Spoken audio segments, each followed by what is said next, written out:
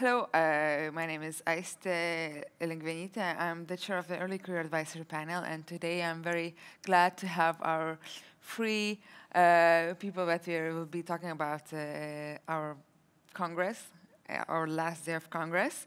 So I'm very happy to he have here Janos Réthelyi from Hungary, who is a professor of psychiatry and psychotherapy from Semmelweis University, but he's also a member of ADHD Network and EPSC Network. He's also on the scientific program committee.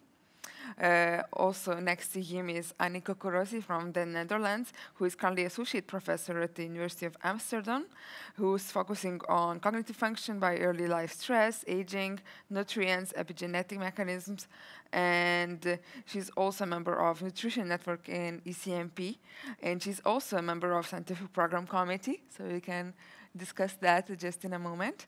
And next to her uh, is a person that probably all of you know, is John Cryan, who gave also a talk this year, uh, who is the chair of the Scientific Program Committee in 35th, 36th, and 37th ECNP Congress, who is also a professor and chair of Department of Anatomy and Neuroscience in University College Cork, and he's focusing mostly on interaction between brain, gut, and microbiome, uh, and how it applies to stress, psychiatric immune-related disorders, and key time windows across lifespan. He's also a member of scientific program committee. So, uh, since it's the last day of the Congress, my first question is, it will be starting from you, Janos. How did it go at the Congress? Today, uh, but also the other days. Thank you very much, Aista. Um, uh, well, the conference was uh, terrific in my view. But first of all, I would like to thank um, John uh, and Aniko uh, for uh, inviting me to the Scientific Program Committee. I've been involved in organizing conferences, but never in such a, a huge, large-scale international conference. And uh, when I first uh, received an email from John, I, I, was of course surprised, but uh, and then we met in Amsterdam for a day, and from there on you could just follow how ideas, thoughts, concepts they form into a first into a draft program, then to a final program, and when we arrived in Barcelona, when I heard the first lecture, then I saw that wow, it's it's really formed into uh, a coherent uh, conference and. Um, well, uh, we can talk about the details later on, but but I, I, just thought it's fantastic. You know, I'm a I'm a adult psychiatrist, um, uh, but I work at a university department, so I'm involved both in uh, treating patients and teaching. Um, but I also do clinical and basic research, which of course is too much, obviously, but especially here at such a conference, you really you don't know where to go because all of these topics uh, are, are involved and, and you just have great lectures as, as a teacher, as a clinician, as a researcher. Mm -hmm. And Aniko, uh, you were an expert in a conference session this morning. Yes, correct. It was actually, yeah, it went really well. At 1st mm -hmm. you would think at 8.30 in the morning on the last day, maybe the attendance might be uh, less, but that was uh, not the case, luckily. So it also shows all the commitment and the motivation uh, from the audience to really follow through the nice uh, program. And uh, yeah, it was really nice to be able to discuss uh, the, this more nutritional and lifestyle sort of interventions in the context of mental health. This is really an upcoming topic. As you mentioned, mm -hmm. I'm also a member of the ECNP Nutrition Network, so it's really, really nice. Of course, it's also in strong connection with John's uh, topic on the microbiome and all of these aspects and how we can really bring it to a translational level and how we can, uh, yeah, what, what needs to happen in the field. So it was a very stimulating discussion that was, uh, was great for those because campfire sessions are very well attended, I think, uh, but you're kind of selective. It's sometimes hard to get in. Okay, for those that did not manage to come, yeah. can you give us some uh, sure. messages? I think that's a really good idea. Yeah, so we discussed really about how to use nutrition or nutrients, but also dietary interventions, so uh, diet styles, let's say, to, uh, to help mental health. So to really as a preventive strategy, but also as a potential treatment strategy. And we discussed where is the field that, what are the key questions that need to be asked uh, in the field to be able to make this big paradigm shift. And so for who should we think about it? Uh, is it for any kind of mental health disorder or is it for specific domains uh, during specific life stages or depending on your sex or of your, of your age, of your uh, genetic background and the culture? It's all going to be determining also what you might be needing and uh, also, of course, how difficult it is to infer causality. So how should we tackle the whole question of how to uh, understand the mechanism and the mechanistic insights about it? And um, and uh, also which nutrients then, which nutritions, which diets. And uh, so it was a really lively discussion, both from preclinical aspects as well as from clinicians, like, okay, we want to use it, but uh, help us to get farther in this. That's really uh, nice. yeah. So, John, uh, so this year you presented a, a, lecture a bit kind of unexpectedly. Your opinion, how did it go oh. today, but also yesterday? Um, yeah, I know. Um, I'm really happy with how the whole conference went. Um, I had to step in myself last minute to because of the situation yeah. in Israel. One of our speakers uh, couldn't uh, make it, uh, unfortunately. Um, uh, so people got a, a, a, dose of my bad dad jokes and other things uh, yesterday uh, overall. But just to step back a little bit, you know, the, the conference itself, I think, has been a, a tremendous success. We have over 6,500 registrants. That's that, you know that's a huge number. Um, 775 people online, but most people here in wonderful Barcelona, which is a wonderful city for a conference at this time of year. The weather gods were with us. It is really, uh, really fantastic. And uh, I'd like to compliment um, uh, the entire program committee, but especially uh, Nico and, Yanis here, but uh, and everyone who helped to bring it together. It's a team sport, and uh, I was I was very privileged to chair uh, the program committee last year, this for last year's meeting this year, and for next year. And it is one of the most enjoyable things I've had in my career to do, and to try and bring frontier science uh, to the community and understand where things are going and use innovative ways to communicate where we're going uh, in uh, psychiatry and neuroscience in general. Um, and I, I'm totally biased, but I think it's been a really great success, and the feedback I've got has been really, you know, really important in that regard. Mm. Maybe it's just something I like to add to this that I think we also put a particular effort, and I think that was also wonderful to really increase the diversity across the speakers and across uh, the program. And I think that has been also appreciated. I have uh, heard a lot of positive comments about the fact that you see uh, across seniority, but across uh, also, of course, gender and all the different diversities that one can think of. So there is a lot of commitment from ECNP to encourage that, and that's uh, and, and truly that's, wonderful. And that's something in the program committee we take exceptionally yeah. seriously, and we want to really make sure that we're not just talking about gender, but it's about all aspects. Yes. And we understand that many of the young scientists need uh, may look different than some of the older scientists that you usually see. So we're trying to, to, to change that. We're trying to be more inclusive. We're trying to bring in uh, you know different ways. And uh, I think they, there's still work to do, uh, but uh, you know I think it, it's an important aspect of ECNP. We want to be uh, a conference for everyone yeah. overall. Yeah. Uh, I, uh, I could add to that or connect to that. Uh, this morning I chaired a session, which was a hot topic session, mm-hmm. which of course the name itself already tells us that uh, we will hear unexpected things. But, but again, these were short lectures, uh, early in the morning. Um, it was well attended, and uh, and and it, it, was really it was incredible the wealth of topics that we started with treating antipsychotic induced weight gain uh, in schizophrenic patients, which is a very pragmatic clinical question, uh, very important, of course, and, and now with semaglutide and and uh, new new anti-diabetic uh, medications, this this might there might be a success in this, this, this regard. And then we went on to neuroimaging, and then biomarker research and robotics. Uh, and in the end, a real basic uh, topic about uh, the neural circuitry of forgetting. So I, I, was just really enjoying every minute of that of that session because it was really a, an example where clinicians, researchers, young researchers, not so young researchers, they're, they're just having a real discussion. Mm. Yeah, in general, uh, also throughout the Congress, since it's the last day, we can go through not only today, but also other days. We had quite a few uh, plenary lectures that are all already online, so people can connect and see them.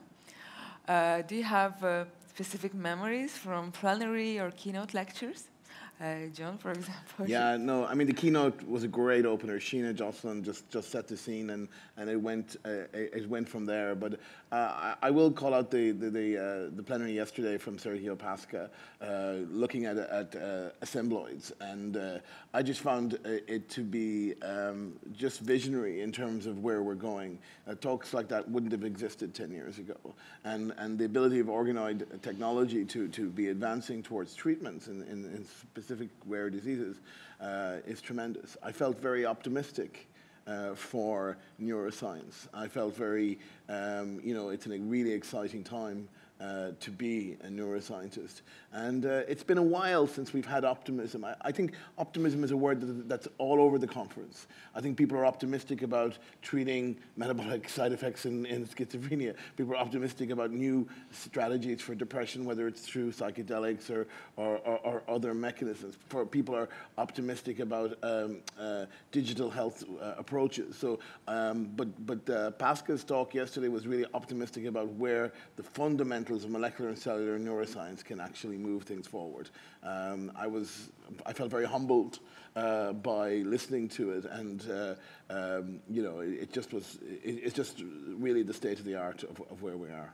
Yeah, and I think since ECNP is so much about translation, so mm. connecting preclinical science but also clinicians, so I think it's very, very a specific thing to ECNP to have these talks, but that are also comprehensible for people that maybe yeah. are not experts in, in this area. Yeah. So these plenaries and keynotes, they are uh, specific to ECNP, but I think very important to listen and also, yeah, you can do it online after.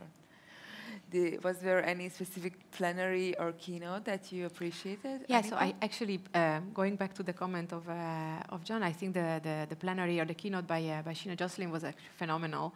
And it was a really nice um, race through history partly and of how it all came about, the whole concept of engram and learning and memory and this core question that we still haven't been able to solve, like how do we store memories in our brain, which is so fundamental as this is such a core aspect of so many diseases uh, that we start forgetting, not only with dementia, but also in depression, in other diseases, we have uh, cognitive problems. So this is core to across disease.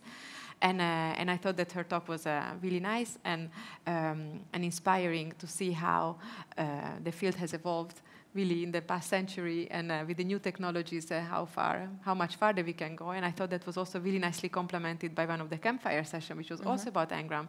And then there was the opportunity to then discuss even further like where should really the field go? And okay now we mapped it but now we still don't know what is in these cells and how can we get to know that. And uh, i thought it was a very stimulating uh, discussion. Yes it's about past present also future. Yes exactly exactly. Mm-hmm.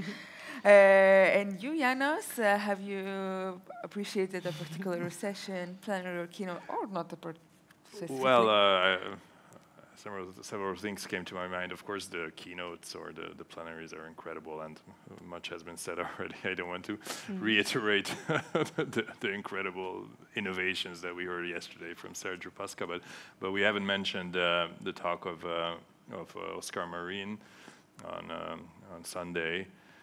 And what was uh, really uh, what I what I found incredible was that he, he's a basic researcher. He's he's spent decades uh, studying the cerebral cortex and in particular interneurons, uh, development of interneurons. But he the, the way he put his lecture again in a clinical context, uh, he was showing how one um, genetic modification which impacts parvalbumin positive interneurons will cause alterations in the dopaminergic system, which, which is, you know, we've been talking about this for, for so long, how, what's going on with interneurons in the schizophrenic brain and why, why is there, uh, why do we see a hyperdopaminergic status in the, in the, in the in dopaminergic neurotransmission? So really, you, you start to think, well, uh, we're, we're understanding schizophrenia. of course, that, that's, that's an exaggeration, but, but I, I, thought, and let's not forget that there's still a plenary today, mm. starting in a few minutes, and uh, um, just I have sorry I have to look the, at the program, but um, uh, Kafui. Yeah, Dzirasa. Dzirasa. Uh, I've heard him talk. He's he's phenomenal. So um, um, I don't know what he's going to talk about, but but I I, I really um, I would recommend it for everybody. I think, John, uh, you seem to have an idea about uh, the talk. It's, it's, about using technology. So he's electrophysi- using electrophysiology and artificial intelligence, big data to try and really look at circuits in the, in the brain and, and, and, and, and, and, and, and where they're going. So I think he, he is a phenomenal uh, speaker. He's a phenomenal advocate for diversity uh, in psychiatry and in neuroscience. And, and uh, I think it will be uh, definitely a good one to close the, uh, the, the, Congress on. I thought Deanna Barch's uh, provocative uh, plenary about childhood um, antecedents of, of um, mental illness, you know, was really important. that we can look at early interventions that might have you know, some benefits uh, for with children with depression as well.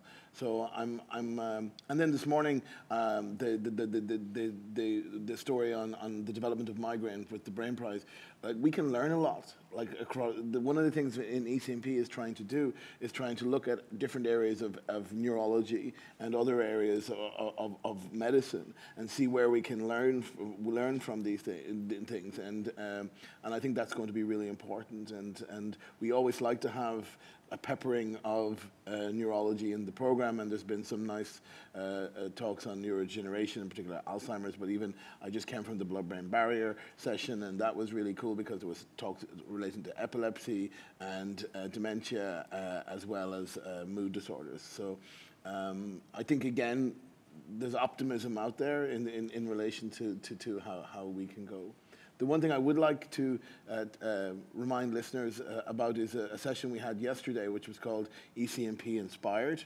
And um, this was a, a phenomenal for me uh, session where we had four very short talks, 10 minute talks from amazing people. Tali Baram talked about her journey uh, from Israel to the US and throughout her career, studying early life adversity and, and the impact that that had. Mara Dierssen uh, talked about um, cognitive biases. She got us all to really challenge our own intrinsic biases. She got us to imagine we are um, uh, um, on an airplane and the captain makes a, uh, an announcement, and then we get off the plane and we meet the head of a hospital, and then we go for uh, we take we go for dinner with them, and uh, we see uh, a couple. And she challenged us that how many of us had saw the, the pilot as being male, the head of the hospital as being male, and the couple as being straight, white. Uh, and, and so th- th- this is important because the, the cognitive biases are, are, are everywhere.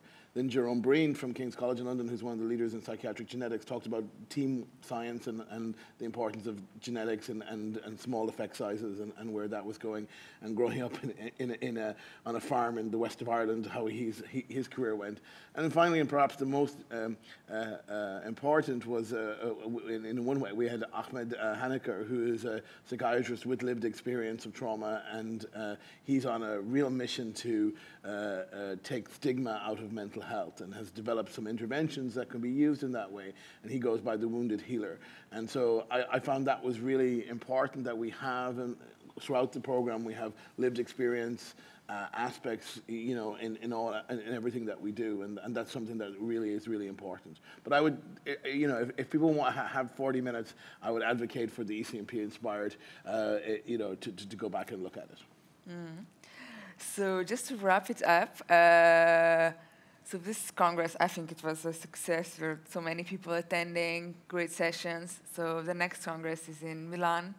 Uh, we all already have some confirmed speakers like uh, Katharina Domschke from Germany, Siri Leknes from Norway, Elaine Hsiao from U United States, Erin Schuman from Germany, also Anne uh, Graybiel from USA. Are there sessions that you are looking forward uh, for next year? Are you attending next year, uh, Aniko? Yeah, I will definitely be attending next year. But I, this is the first time I hear this insight into the program of next year. So I look forward to but know more about the program. But, but what do all of them six names have in common? That's they're all fantastic scientists. there you go. But they're all happen to be women. Aha. Ah, because the names uh, I did not uh, They're get to see that. But what they have in common is they are im- uh, impactful scientists who are transforming how we think about the brain uh, overall, but they happen to be women. Sounds very exciting. yeah. So CMP is all about diversity, inclusion, but also just good science. So it doesn't matter who you are if you do good yeah, science. l- y- you know, and we had a session on, on disability uh, uh, as, as, as here, Yeah. uh, in, in which was and the, working with the Alba Network, which is really important to really you know push this uh, uh, agenda forward. Yeah, and I think for me, this is really the number one conference where you can have this translational aspect, where clinicians come together with preclinical scientists. And we also had this fantastic uh, campfire about the advocacy for animal research. I think that was also a very, very good one to have with clinicians and the preclinical scientists to reevaluate where we are at. Yeah. So just to wrap it up, uh, Janos, do you have a particular, like one word or three words, uh, advice for early career Yes. researchers or researchers I- that are attending? I also plan to attend in Milan, and for early career scientists, I recommend to to bring a poster, submit an abstract for a poster, because not all conferences have traditional uh, poster sessions, which I like very much, and I, I don't think they should be changed. So thank you very much for coming and see you in Milan.